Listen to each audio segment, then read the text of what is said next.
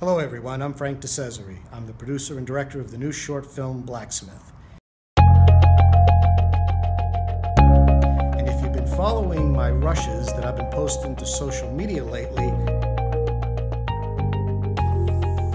then the guy to my right here should be no stranger to you. This here is Rob Flurry.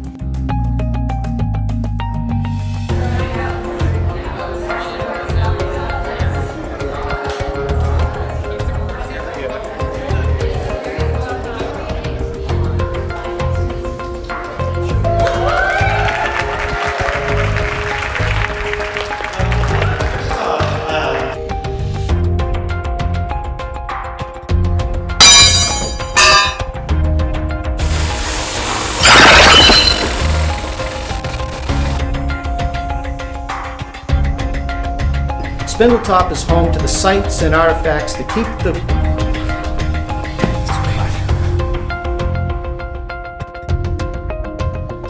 Shot two, take seven. Mark. Hello, everyone. I'm Frank DiCesare. I am I am currently showing my cord.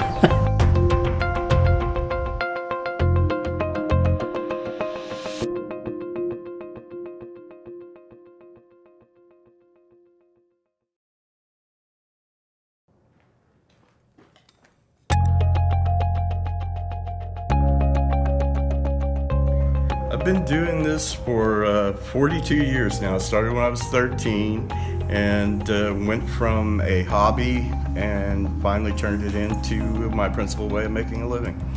If you look at the movie, it's a structure, it's chronological. It starts from the beginning and ends into the end, and from 1 goes to 10.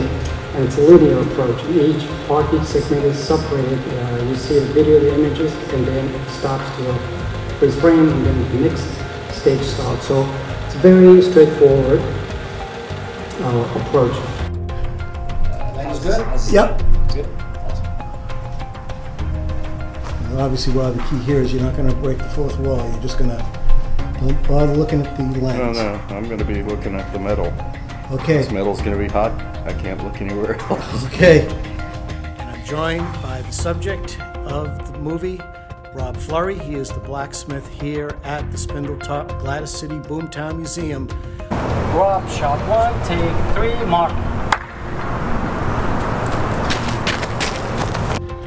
being allowed to work on projects project such as this is a really incredible experience. You get to know your crew, your talent, very, very intensely. Mm-hmm. When you strike the match, mm-hmm. okay, go back where you, yeah, right there. Hmm. Okay. I want to be able to see a flame. Okay. So let it burn for a little bit. This is this is really the end of the line. So probably about 15%, maybe 20%, depending on how much I've done at the forge. By the time you get to the grinder, it's the product's almost done. Almost done. Exactly. Excellent. Hey, baby, how's it going? Rob,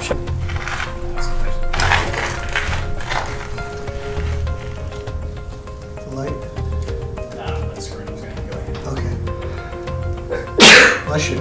Excuse me.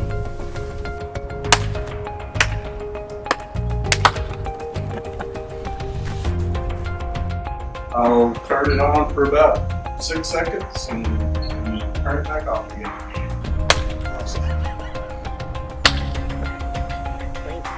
Rob. Shot six, take one.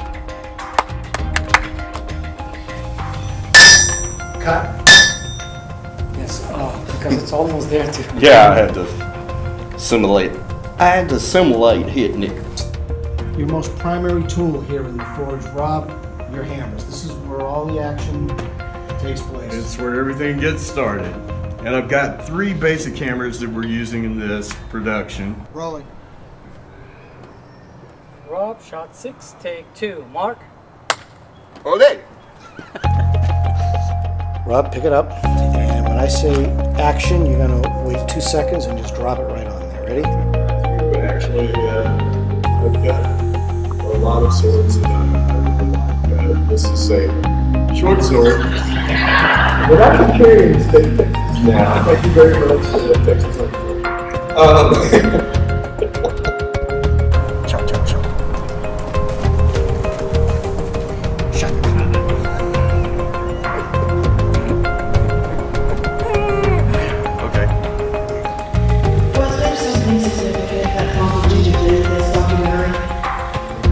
ago, uh, before I was a journalist, I was a high school English teacher.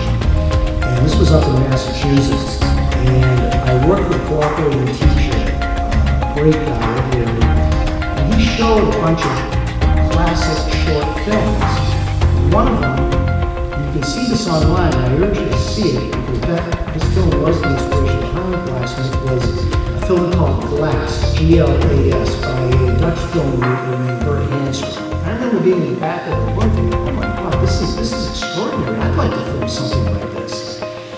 And action.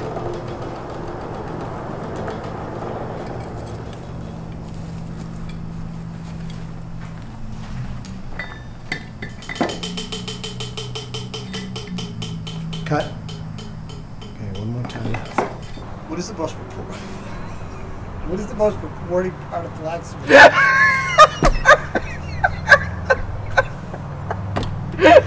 Cut.